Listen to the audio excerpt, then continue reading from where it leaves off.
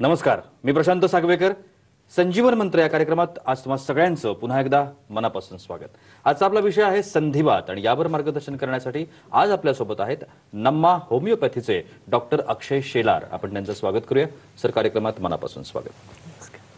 कार्यक्रमाला सुरुवात करायची आहे, मात्र त्याआधी आपण थोडक्यात सरांची ओळख करून घेऊया. डॉक्टर अक्षय शेलार यांनी बी एच एम एस ही पदवी संपादन केलेली आहे आणि मागच्या तीन वर्षांपासून ते हम- नम्मा होमिओपॅथी सोबत कार्यरत आहेत. आजच्या या विषयासंदर्भात तुमच्याही मनामध्ये शंका असणार आहेत प्रश्न असणार आहेत तुम्ही थेट त्या डॉक्टरांना विचारू शकता. त्यासाठी आमचा स्टुडिओ क्रमांक लिहून घ्या. शून्य दोन दोन सहा सहा आठ चार तीन तीन तीन तीन हा आमचा स्टुडिओ क्रमांक आहे. चला तर मग कार्यक्रमाला सुरुवात करूया. सर पुन्हा एकदा मनापासून स्वागत. संधिवात या विषयावरती आपण चर्चा करणार आहोत. मला सुरुवातीला जाणून घ्यायचं आहे की संधिवात म्हणजे नेमकं काय आणि त्याचे प्रकार कोणकोणते असतात? नक्कीच. साधारणतःपणे आपण जेव्हा बघतो संधिवात तर आपल्या शरीरामध्ये कोणत्याही प्रकारचे सांधे असतात जे अ, एक किंवा दोन किंवा इतर अधिक सांधे असतात तर त्या सांध्यांमध्ये ज्यावेळेस वेदना होतात किंवा त्या साधन अ, त्या अ, सांध्यांमध्ये ज्यावेळेस आपल्याला इथे नरमपणा येतो किंवा आपल्याला ते दुखतं जास्त त्यावेळेस आपल्याला वाताचा प्रकार निर्माण होतो. तर हे वाताचा प्रकार भरपूर प्रकाराचे असतात. तर आपण त्यात बघतो ऑस्टिओआर्थरायटिस म्हणजे ज्याला आपण संधित वात म्हणतो. दुसरा येतो रुमॅटोड अर्थरायटिस ज्याला आपण आमवात म्हणतो. तिसरा आहे तो गाऊट गाऊट म्हणजे आपल्या हाडांमध्ये ते सूज येणे. तर हे तीन प्रकार असतात. तर त्याच्यामध्ये आपण बेसिकली हे तीन प्रकार आजच्या डेली रुटीन लाईफमध्ये बघत असतोय. तर ह्या ह्याच्या प्रकारामध्ये आपण जर बघितलं वैशिष्ट्य काय? तर संधिवात. संधिवात मध्ये आपल्या हाडांमध्ये जी गादी असते ठीक आहे त्या हाडांमधली गादी कुठेतरी कमी पडत असते. तर ती गादी म्हणजे काय? तर अर्थात आपण कार्टिलेज त्याला म्हणत असतोय. तर ते कार्टिलेज ज्यावेळेस त्याची झीज होती ज्यावेळेस आपल्या दोन हाडांच्या मध्ये जी गादी असते ती गादी जेव्हा फ्रिक्शन होतं किंवा ती गादी जेव्हा एकमेकांशी ठिसूळ होते तर त्यावेळेस आपल्याला ती गादी दिसत नाही. मग त्यावेळेस आपल्याला ऑस्टिओआर्थरायटिस म्हणजे संधिवात आपल्याला दिसून येतो. तशाच प्रकारे आमवात. आमवात मध्ये काय होतं तर आपल्या हाडांमध्ये सूज निर्माण होती. तर आपल्या हाडांमध्ये सूज निर्माण होती तिथे लालसरपणा निर्माण होतो आणि तिथे आपल्याला इरिटेशन होतात. म्हणजे आपले जे पेशी असतात त्या पेशींना डिस्टर्बन्स होतं. त्याच्यामुळे तिथे जास्तीत जास्त फ्लुइड अक्युमुलेट होतं. म्हणजे तिथे जास्तीत जास्त पाणी साचतं. आणि मग आपल्याला तिथे हाडांमध्ये सूज निर्माण होती. हे आपण आमवात मध्ये बघत असतोय. आणि तसंच आपण बघितलं गाऊटमध्ये तर गाऊटमध्ये आपल्याला तिथे हाडांमध्ये सूज दिसते. त्याच्यामध्ये युरिक ऍसिडची निर्मिती जास्त होत असते. तर हे आपल्याला हे तीन मध्ये प्रकार दिसू शकतो आपल्याला. नक्की सर आपल्याला एक फोन येतोय. औरंगाबाद वरून त्यांचा आपण फोन घेऊया. बोला सर काय समस्या आहे तुमची? बोला. गुडघे ना आमच्या गुडघे दुखतात. वय काय आपलं? ते आमचं पासष्ट वर्ष. किती वर्ष? पासष्ट. पासष्ट वर्ष. हा. आणि गुडघे दुखतायत. कधीपासून त्रास आहे हा? हे दोन वर्षापासून आहे सर दोन वर्षापासून. सूज आहे काय गुडघ्यांना? हा सर्दी आहे थोडी पण. सुजले ओके. सर पासष्ट वर्ष वय आहे त्यांचं आणि सूज आहे म्हणतात गुडघ्यांना आणि दोन तीन वर्षांपासून त्रास होतोय. काय सांगता येईल? नक्कीच. तर ह्यांना जो प्रकार आपण बघू शकतोय हा आमवाताचा प्रकार निर्माण होऊ शकतोय. बिकॉज ज्या आमवात मध्ये आपण बघतो जसं मी म्हणलं की आपल्या हाडांमध्ये जिथे आपल्याला सेल्स डिस्टर्ब होतात म्हणजे आपले पेशी डिस्टर्ब होतात. आणि त्याच्यामधून सुटणारं पाणी जास्त तिथे अक्युमुलेट होतं. म्हणजे तिथे जास्त पाण्याची निर्मिती होत राहते. त्याच्यामुळे आपल्याला हाडांभोवती सूज निर्माण होती. आणि ही सूज ज्यावेळेस आपल्याला जास्तीत जास्त होती त्यावेळेस आपले तिथले टिश्यूज म्हणजे जे साईडचे जे सपोर्ट असतोय तो बांधा कुठेतरी तुटलेला असतोय किंवा तो बांधा नाजूक पडतो.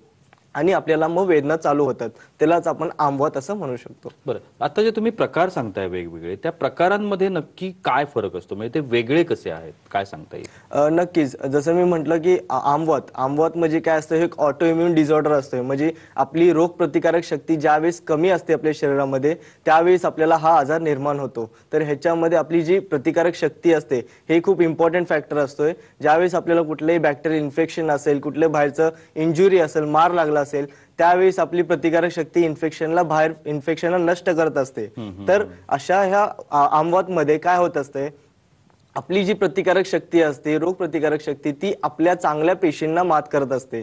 जेणेकरून आपली चांगली पेशी जी असतात ते कमी कमी होत जातात आणि त्याच्यामुळे आपल्याला ऑटोइम्युन डिझॉर्डर अशी ही निर्मिती होते. तर हे हेच ह्याच्यामुळे आपल्याला सुजेचं प्रकरण जे आपल्याला पेशींमध्ये जास्त जे पाणी बाहेर निघायला पाहिजे ते पाणी साचून राहतं तिथे आणि ते आपल्याला सूज सुजेच्या यानं किंवा दुखण्याच्या मार्फत दिसून येतं आपल्याला. बर. आणि सर कारणांचा जर विचार करायचा म्हटलं संधिवाताची जी वेगवेगळी कारणं आहेत त्या बाबतीत काय सांगता येईल? नक्कीच. तर संधिवात म्हणजे आता आपण बघतो हाडा हाडं असतात जे जेणेकरून आपण मोठी हाडं जास्त करून बघत असतो संधिवात मध्ये जे आपलं गुडघ्यांपाशी म्हणतो आपण. तर नॅचरली हे जे पहिलं कारण जर बघितलं तर आपल्याला वाढत्या वयामध्ये आपल्याला वजन हे एक मोठं फॅक्टर आहे. ओबेसिटी म्हणतो आपण. तर वजन वाढल्यामुळे काय होतं आपला जो शरीराचा ऍक्सिस असतोय जो बांधा असतोय तो बांधा कुठेतरी कमी पडत असतोय. म्हणजे आपल्या शरीरातले फॅट जे बॉडी बॉडीमध्ये फॅट असतात ते आपल्या शरीरावरती झेपत नाही आपल्याला. ते आपल्या गुडघ्यांवरती प्रेशर पडत राहतो. आणि त्याच्यामुळे आपल्याला तिथे लवकरात लवकर ऑस्टिओआर्थरायटिसचे सायन्स अँड सिम्पटम दिसून येतात. तर तसंच जर बघितलं गेलं दुसरं म्हणजे हॉर्मोनल इम्बॅलन्स हॉर्मोनल इम्बॅलन्समध्ये आपल्याला काय दिसतं? तर आपले कुठेतरी हॉर्मोनची घटक होती. आणि त्याच्यामुळे आपल्याला मग थायरॉइड निर्माण होतं किंवा आपल्याला हे प्रकरण बिघडल्यामुळे आपल्या इथे ऑटोइम्युन सेल्सला डिस्टर्बन्स होतं आणि आपल्याला आमवाताची प्रतिकार दिसून येते. तर तिसरं तसं बघितलं तर याच्यात इम्युनिटी ही इम्पॉर्टंट रोल असतोय. इम्युनिटी ज्याची कमी असते ज्यांना सतत वारंवार इन्फेक्शन असते शरीरामध्ये त्यांनाही कुठेतरी हाडांची झीज होत राहते किंवा त्यांनाही कुठेतरी हाडांमध्ये इम्युनिटी कमी होत राहते आणि त्यात त्यांना सुजेचं प्रकरण निर्माण होऊ शकतंय. तसंच बघायला गेलं तर इल इफेक्ट्स ऑफ आपण साईड इफेक्ट्स म्हणतो औषधांचे. वारंवार औषध खाणे किंवा कोणत्याही प्रकारचे स्टिरॉइड्स घेणे हे सगळं आपल्याला त्याच्यामध्ये दिसून येतं की ह्याच्यामुळे पण आपल्याला हाडांमध्ये त्रास निर्माण होतो. बर. आणि सर लक्षणं जे आपण म्हणतो कारण बऱ्याच वेळेला असं असतं ना की नेमकं जे आपल्याला काही होतंय ते नेमकं कशामुळे होतंय ते कळत नाही संधिवातांच्या लक्षणाबद्दल काय सांगता येईल? नक्कीच. संधिवाताचं लक्षण जर बघितलं आपण तर सुरुवातीला आपल्याला त्रास असतोय ते एक दोन दिवसासाठी असतोय किंवा एक आठवड्यासाठी असतोय. आपल्याला प्रचंड वेदना होत असतात पण ते आपण नॉर्मली पेन किलर घेतल्यानंतर आपल्याला ते कमी वाटतात. ते आपल्याला वाटतं की नाही आत्ताच आपल्याला कुठेतरी पाय चमकलाय किंवा काय असं झालंय त्याच्यामुळे आपल्याला ते दुखणं आलंय. मग ते आपण टाळतो त्याला. आणि ते टाळल्यानंतर आपण ज्यावेळेस त्याची निर्मिती सारखी सारखी होत राहते प्रत्येक आठवड्याला किंवा प्रत्येक महिन्याला आपल्याला दिसून येतं त्रास तर हे सुरुवातीचं लक्षण असतंय. त्यावेळेस आपल्या हाडांमध्ये स्टिफनेस येतो म्हणजे आकडणपणा येतो. आकडणपणा येतो आणि हे सकाळच्या वेळी जास्त करून दिसून येतो आपल्याला. तर हे आकडणपणा आल्यानंतर आपल्याला चालण्यामध्ये थोडासा फरक जाणवतो. जे आपण नॉर्मली चालवत असतोय किंवा नॉर्मली जे आपण फ्लेक्झन करतो म्हणजे बॉडीला स्ट्रेच करतो किंवा पाय आपण स्ट्रेच करतो तर ते होत नाहीत मुवमेंट्स आणि ते न झाल्यामुळे आपल्याला कुठेतरी फ्लेक्झिबिलिटी लॉस होती. म्हणजे आपलं आपलं जे शरीर असतं ते कुठेतरी स्टिफ झालेलं असते. तर त्या स्टिफनेसमुळे आपल्याला पहिली सुरुवात हे सिमटम ऑस्टिओआर्थरायटिसचं किंवा रुमॅटॉइड आर्थरायटिसचं दिसून येतं. दुसरं म्हणजे आपल्या हाडांना हळूहळू सूज येणे. तर हाडांच्या भोवती सूज येणे. तर ह्याच्या तर ह्या सूजमध्ये काय होतं तर आपल्याला तिथे पाणी साचून राहतं जसं मी म्हटलं. तर ह्याच्यामुळे पण आपल्याला प्रचंड वेदना होतात आणि चालण्या फिरण्यामध्ये तकलीफ होत जाते. तर ह्याच्यामुळे आपल्याला बसणं उठणं काम करणं हे सगळे व्यवस्थित होत नाही. त्याच्यामुळे आपल्याला हे सगळे कॉजेस सिमटम दिसून येतात सुरुवातीला. सर आजारांकडे बऱ्याच वेळेला दुर्लक्ष होतं. म्हणजे अनेक कारणांमुळे ते होतं. कधी वेळ मिळत नाही म्हणा किंवा त्याचा त्रास जास्त नसतो म्हणून दुर्लक्ष होतं. पण अनेक छोटे छोटे आजार असे असतात की ज्याचं फार मोठं गंभीर रूप जर आपण त्याच्यामध्ये वेळीच काही केलं नाही तर ते धारण करू शकतात. संधिवाताच्या बाबतीमध्ये असं काही असू असू शकतं का? नक्कीच. तर आपण बघतो हे वाताच्या प्रकारांमध्ये तर आपण जसं मी म्हंटल की हे ऑटो इम्युनिटीवरती इफेक्ट असते जास्त. तर इम्युनिटीवरती इफेक्ट असलं म्हटलं आपल्या पूर्ण शरीरावरतीच इफेक्ट पडतं त्याचं. तर हळू पण हे इफेक्ट लगेच पडत नाही कारण की ह्याला ग्रॅज्युअल इन्सिडेन्स असतोय. ज्यावेळेला ह्याला हळूहळू प्रोसेस असते ज्यावेळेस आपली इम्युनिटी खचते त्यावेळेस आपल्याला फिवर निर्माण होतो किंवा ताप निर्माण होतो जास्त. त्यावेळेस आपल्याला कुठले मलेरिया डेंग्यू टायफॉइड असे बरी बरीच आपल्याला आजार निर्माण होतात. आणि ह्या आजारांमध्ये आपल्याला अजून ती हाडं झिजायला लागतात. आणि अजून त्या हाडांमध्ये आपल्याला भरपूर डॅमेज दिसायला लागतो. जे हार्ड नॉर्मल बनायचं असतंय ते होत नाही किंवा तिथे एक्स्ट्रा ग्रोथ फॉर्मेशन होतात. किंवा ह्याच्यामुळे अजून जर बघितलं आपण तर ते हाडे हाड आपली वेडे वाकडे होतात जेणेकरून आपण कॉन्ट्रॅक्चर्स म्हणतो. तर त्याच्यामध्ये पण आपल्याला जर व्यवस्थित ट्रीटमेंट नाही घेतली किंवा व्यवस्थित उपचार नाही घेतले तर आपल्याला हे पुढं लक्षणं दिसू शकतात. सजस बरोबर अजून बघितलं तर आपल्याला हार्टचे किंवा लिव्हरचे आणि किडनीचे हेही ट्रबल्स आपल्याला जाणून येतात त्याच्यामध्ये. बरं. आणि सर जर आता जे प्रेक्षक आपल्याला पाहत आहेत त्यांच्यापैकी जर कोणाला आत्ता संधिवाचा वाताचा त्रास होत असेल म्हणजे ऍक्च्युअल तो झालाय आजार आता. तर त्यांना आता त्यांनी काय केलं पाहिजे? नक्कीच. जर बघितलं आपण तर मोस्ट ऑफ सगळ्या आजकाल या जनरेशनमध्ये खूप लोकांना वाताचा त्रास असतोय. त्यात नेमकं त्यांना माहीत नसतं की संधिवात कोणता आमवात कोणता आणि युरिक ऍसिड कोणता. तर हे तीन जे आजार असतात हे ह्यांचं डिफरन्शिएशन वेगळं असते पण ह्याची जशी डिफरन्शिएशन असते तसं वे ऑफ ट्रीटमेंट लाईन असतोय. तर ह्याच्यामध्ये जर बघितलं तर आमवात असेल तर त्यांना जास्त गरमी असेल आतमध्ये तर त्यांना हॉट हॉट फर्मेंटेशन म्हणजे आपण म्हणतो हिटिंग पॅडचा उपयोग करायला पाहिजे त्यांनी सुरुवातीला तरी किंवा त्यांनी व्यवस्थित म्हणजे दररोज चालणं ठेवलं पाहिजे एक्सरसाइजेस ठेवले पाहिजेत जेणेकरून आपली जी बॉडी स्टिफ होती जी हाडं स्टिफ होतात तर स्टी स्टिफ नाही व्हायला पाहिजेत आणि त्यांना व्यवस्थित मुवमेंट्स व्हायला पाहिजे हाडांची ज्यामुळे पुढे कॉम्प्लिकेशन्स वाचू शकतात. ठीक आहे. आणि अशा प्रकारे त्यांनी कमीत कमी पेनकिलरचा यूज करावा असं मी त्यांना सांगू इच्छितो. दुसरं म्हणजे बघितलं तर डाईटमध्ये म्हणजे आपल्या खाण्यापिण्यामध्ये थोडासा त्यांनी फरक केला पाहिजे. जे आंबट पदार्थ असतात ते आंबट पदार्थ त्यांनी सेवन नाही केले पाहिजे. किंवा दही म्हणतो आपण जे पण संत्री म्हणतो किंवा आपण जास्त युरिक ऍसिडचे जे पदार्थ म्हणतो ते जास्त त्यांनी म्हणजे खाल्ले नाही पाहिजे. दुसरं अजून बघितलं तर हायली स्पायसी सिजनल फूड असतात. तर तेही त्यांनी कमी प्रमाणात खाल्ले पाहिजेत जेणेकरून त्यांच्या अंगावरती इम्युनिटी त्यांची कमी होऊ शकत नाही. दुसरे म्हणजे मच्छी मांस वगैरे चिकन जे पण असेल तर ते पण सुद्धा त्यांनी कमी केलं पाहिजे. आणि व्हेज डाएट किंवा व्हेजिटेबल जास्तीत जास्त आणि फ्रुट्सचा समावेश जास्तीत जास्त केला पाहिजे त्यांनी. बरं आणि जर संधिवात होऊच नये असं जर वाटत असेल आपल्याला तर त्याची काळजी घेता येते का? आणि मग ती कशी घ्यायला पाहिजे खरं तर? नक्कीच. जर संधिवात ज्यांना कोणाला संधिवात असेल किंवा कोणत्याही प्रकारचा वाताचा त्रास असेल त्यांनी सगळ्यात पहिले तर त्यांनी इन्व्हेस्टिगेट त्यांची आरोग्य तपासणी करायला पाहिजे. आरोग्य तपासणी केली तर त्यांना कळू शकते की त्यांना काय त्रास आहे. आणि त्याच्या जर तो त्रास जास्त असेल तर त्यांना मुळीच ट्रीटमेंट घेण्याची म्हणजे गरज असते. बिकॉज ट्रीटमेंटमध्ये आपल्याला एक खाणंपिणं किंवा कोणत्याही प्रकारचे आपल्याला व्यवस्थित उपचार भेटत असतात. आणि त्या त्याचबरोबर आपल्याला जर बघितलं तर त्याच्यामध्ये त्यांना लक्षणंही कळतात की कोणते कोणते लक्षणं येतात. इथे जाऊन पुढे याचे कॉम्प्लिकेशन्स काय होऊ शकतात. आणि तेच आपण कसं अवॉइड करू शकतो हेही त्यांना कळू शकतं. तर त्याच्यासाठी त्यांना जर त्यांना त्रास असेल तर त्यांना उपचाराशिवाय दुसरं गरज नसते अशी. बरं. आणि आता तपासण्यांच्या बाबतीमध्ये म्हणजे पर्टिक्युलरली संधिवात जेव्हा असतो तेव्हा कोणत्या कोणत्या तपासण्या करणं हे जास्त महत्वाचं असतं? नक्कीच. जर आपण बघतो संधिवात संधिवात मध्ये जे आपण तपासणी करतो तर एक्सरे करायला लागतो आपल्याला. एक्सरे केल्यानंतर आपल्याला तिथे जे हाड असतं तर हाडांच्या मध्ये जी गादी असते तर ह्याच्यामध्ये आपल्याला फरक दिसतो. किती गादी आहे तिथे किती झीज झालेली आहे गादीची आणि किती हाड वेडेवाकडे झालेत किंवा ते हाडांमध्ये दोघांमध्ये गॅप असतो ते गॅप रेड्यूस झालाय का हे आपल्याला कळतं. तर ह्याच्यावरून आपल्याला कळू शकतं की हे आर्थ्राय म्हणजे आर्थरायटिसचा प्रकार असतोय.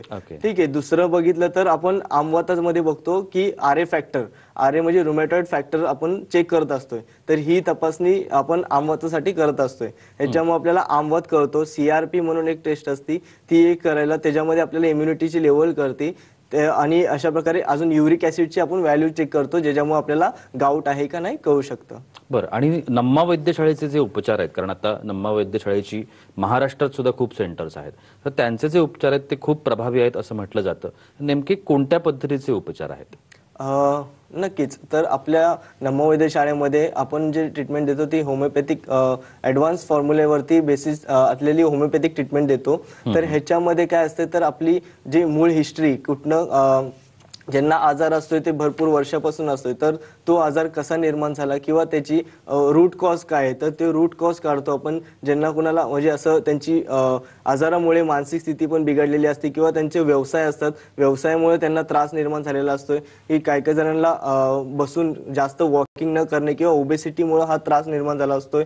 तर हे सगळे कारण आपण बघत असतोय. त्याचा मूळ कॉज कुठं आहे ते बघत असतोय. आणि त्याच्यावरती पहिला उपचार देऊन त्याच्यामुळे व्यवस्थित आपल्याला अर्थरायटिसचं ट्रीटमेंट देत असतोय आपण. आणि त्याच्यासोबत त्यांना डाएटही फॉलो करत असतोय जेणेकरून त्यांची हे जे आजार आहे ते पुन्हा त्यांना त्यांच्यामध्ये निर्माण न होण्याची शब्द आहे नक्कीच. नम्मा वैद्यशाळा कशा पद्धतीनं उपचार करते संधिवातावरती हे आपण जाणून घेण्याचा प्रयत्न करतोय. आपण कारणं पाहिली लक्षणं पाहिली आणि उपचार कशा पद्धतीनं नम्मा वैद्यशाळा करते तेही आपण जाणून घेण्याचा प्रयत्न केला. कार्यक्रमात वेळ होत्या एका छोट्याशा विश्रांतीची? कुठेही जाऊ नका पाहत राहा संजीवन मंत्र.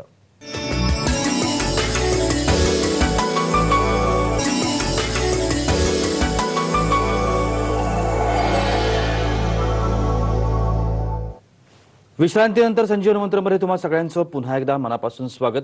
डॉक्टर अक्षय शेलार आपल्याला मार्गदर्शन करतायत आणि संधिवात या विषयावरती आपण जाणून घेण्याचा प्रयत्न करतोय. सर आत्ता मला थोड्याशा वेगळ्या प्रश्नांकडे जायचं आहे. आज जर आपण आजच्या पिढीचा विचार केला तर अ, संधिवात हा जो आजार होता तो काही वर्षांपूर्वी असं होतं की ज्येष्ठ नागरिक जे आहेत ज्याने वयाची एक पन्नाशी वगैरे क्रॉस केली आहे अशा वयातल्या लोकांना तो व्हायचा पर्टिक्युलरली. पण आत्ता अगदी अठरा वीस वर्षाच्या मुलांना सुद्धा संधिवातासारखे विकार होताना आपण दिसतो आजार होताना आपण पाहतो. त्याच्या पाठीमागं नेमकं काय कारण असावं? बरोबर. नक्कीच. जर आज बघितलं तर आजच्या ह्या जनरेशनमध्ये जसं तुम्ही म्हटला की हल्लीच हे आजार जो बघतो आपण ते तीस ते पन्नास वयाच्या मधून पुरुषांना किंवा महिलांना दिसून येतो. पण आता ह्या जनरेशनमध्ये असं झालंय की हे आपले यंग ऍडल्ट म्हणजे जे पंचवीस वीस ते पंचवीस वयांच्या मुलांनाही होत असतोय. याचं कारण असं असतं की ते त्यांच्या म्हणजे त्यांच्या ज्या प्रकृती असते त्यांची जी शरीराची काळजी घेत नसतात त्यां- त्यांनी जे डाएट पदार्थ असते किंवा ते जॉब प्रोफाईल असतोय ते व्यवस्थित त्यांनी भान ठेवलेलं नसतं त्याचं. जॉबच्या जॉबच्या ह्याच्यात जॉबच्या कार्यामध्ये ते त्यांचं खाणं पिणं विसरतात किंवा ते ओव्हरनाईट ड्युटी करतात ओव्हरनाईट स्टडी करतात. जे मॉर्निंग टाइम स्टडी करायला पाहिजे ते त्यांनी नाईट टाइम स्टडी करतात. हल्ली आपण हे खूप बघतो यंग जनरेशनमध्ये. तर असेच प्रकारचे थोडेसे त्यांनी मोबाईल ऑपरेटर्स जास्त पण युज करत असतात नाईट टाइमला तर हे पण डोळ्यांसाठी किंवा आपल्या शरीरासाठी खूप हानिकारक असते तर असं जे बघितलं हे खूप ऍडव्हान्स झालेलं असते. तर हे ऍडव्हान्स स्टेजमध्ये असं जर बघितलं तर आपल्याला ते इम्युनिटी वरती परिणाम पडत असतोय आणि इम्युनिटी मुलांची कमी होत जाते. तर ती सुरुवातीपासून जर त्यांची इम्युनिटी कमी कमी होत असेल तर नंतर त्यांना लवकरात लवकर त्रास येण्याची क्षमता असते. तर आपण बऱ्याच वेळेला बघतो ना की एका आजारातून दुसरा आजार म्हणजे संधिवातासारखा आजार आहे. पण संधिवात झाला त्याच्यावर उपचार करतो आणि त्यातून वेगळा आणखीन काहीतरी आजार झाला. तर असं पण अनेक वेळेला त्रास होताना आपण पाहतो. तर त्याच्याबद्दल काही सांगता येईल? नक्कीच. आपण जसं बघितलं की सुरुवातीला जे आपल्याला एक प्रकारचे म्हणजे एक एक कुठले तरी सांधे दुखतात किंवा एक ग्रुप ऑफ म्हणतो आपण ते सांधे दुखायला लागतात. तर हळूहळू तेच त्याचीच निर्मिती दुसऱ्या हाडांमध्ये होते. मग ते दुसरं हाड दुखायला लागतं. मग तसंच बघितलं तर आपल्याला जे गुडघ्यांचा त्रास असतो त्याच्यासोबतही त्याच्या नसा रिलेटेड टू कंबर कमरेत असतात. तर कमरे किंवा मणका म्हणतो आपण तर त्या मणक्यामध्ये शिरा असतात त्या. तर तसाच तो ऍडव्हान्स तो आजार जो असतो तो वाढत वाढत जातो आणि आपल्याला हाडांचं दुखणं तर होतच त्याच्यासोबत आपल्याला मणक्याचंही दुखणं होतं. त्याला आपण स्पॉन्डिलायसिस म्हणतो. हा पण एक अर्थरायटिसचा प्रकार असतोय. तर त्याच्यामध्ये पण आपली जी गादी असते ती झिजत असते किंवा तिथला गॅप असतोय मणक्यामधला तो कमी पडत असतोय आणि त्यात आपल्याला नसांची निर्मिती दिसून येते. मग हे पण आपल्याला त्रास त्याच्यामुळे घडू शकतोय. दुसरा म्हणजे त्याच्यामध्ये आपण बघतो की सोरियासिस म्हणून एक कंडिशन असते जी स्किन सिमटम्स असते. तर ह्याच्यामध्ये काय होतं तर आपली जी ऑटो इम्युनिटी कमी होते इम्युनिटी पॉवर कमी झाल्यामुळे आपल्याला सोरियासिसमध्ये निर्मिती होते जे आपण फ्लेक्स म्हणजे जे क्रस्ट म्हणजे आपण जे छाले म्हणतो वरतून वरतून पडत राहतात जे आपल्या शरीराची स्किन असती. ती डबल प्रतिकार डबल यानं वाढत जाते आणि ती लवकर लवकर निघत राहते. तर हे आपल्याला सोरायसिसमध्ये सिमटम असते आणि हे सोरायसिसमध्ये दिसत असते. अशाच प्रकारे त्यांनी ऑटोइम्युन म्हणजे आपल्या जे रक्तपेशींवरती पातळ होण्याची जे कारण असते मग त्याच्यामुळे आपल्याला तसंच किडनीवरती किंवा तसंच हार्ट वरती आपल्याला जास्त प्रकाराने आपण सिमटम बघू शकतो याचे. बरं. आणि संधिवातावरती किंवा हाडांची जी दुखणी आहेत मुळात त्याच्यावरती मग अनेक वेळेला गंभीर रूप धारण केल्यानंतर शस्त्रक्रिया सुचवली जाते अनेक डॉक्टरांकडून. तर मुळात अशा आजारांमध्ये शस्त्रक्रिया करणं सर्जरी करणं हे योग्य आहे का? नक्कीच. जर आपण बघितलं की नॉर्मली जेव्हा हे कंडिशन जेव्हा हे अर्थरायटिसची कंडिशन सिव्हिरिटी फॉर्मला असते जेव्हा कुठे आपण त्याच्यामध्ये काही हाडच नाही किंवा त्याच्यामध्ये कुठे गॅपच नाही किंवा एकदम गादीच त्याची निसटलेली आहे किंवा गादीच त्याची तिथे नसेल तर ह्या वेळेस आपण त्यांना ऍडवाइस करू शकतोय. पण हे कारण की हे लेटर स्टेज असतं ऍडव्हान्स स्टेज असतात. पण ऍडव्हान्स स्टेजमध्ये तेवढं नाही किंवा ते अर्ली स्टेजला जेव्हा येतात ज्यावेळेस त्यांची थोडी गादी असते त्यावेळेस त्यांच्यामध्ये गुडघ्यांमध्ये गॅप असतो तिथे नॉर्मल ऍक्सिस असतोय त्याचा. नॉर्मल म्हणजे व्यवस्थित एकदम तिथे स्ट्रक्चर असते त्या हाडांचं. त्यावेळेस आपल्याला तिथं ट्रीटमेंट करणं भाग असते आणि त्यावेळेस आपल्याला नक्कीच तिथं त्यांना यश भेटत असते. बरं. आणि होमिओपॅथीचे जे उपचार आहेत नम्मा वेधशाळेचे म्हणजे विदाऊट ऑपरेशन जर आपल्याला त्याचं कारण अनेक वेळेला काय होतं की पेशंट्सना भीती असते. ऑपरेशनची. आणि ते टाळाटाळ करत असतात ऑपरेशनसाठी. त्यामुळे त्यांना ते ऑपरेशन नको पण दुसरं काही सांगा असं असतं. तर होमिओपॅथीमध्ये आपल्याला असे काही उपचार त्यांना सांगता येतील. नक्कीच. आपल्या होमिओपॅथी जर आपण नमो वैद्यशाळामध्ये बघितलं तर आपल्या ह्याच्यात फिजिओथेरपी पण ठेवलेली आहे आपण. ठीक आहे. आपल्या अ, त्याचं कारण असंच असतं की आपल्या बॉडीला कुठेतरी स्टिफनेस झालेला असतोय. आपल्या शरीरामध्ये हाडांमध्ये स्टिफनेस झालेला असतोय. तर हा स्टिफनेस हे तितकाच इम्पॉर्टंट आहे जितकं आपण ट्रीटमेंट देतो.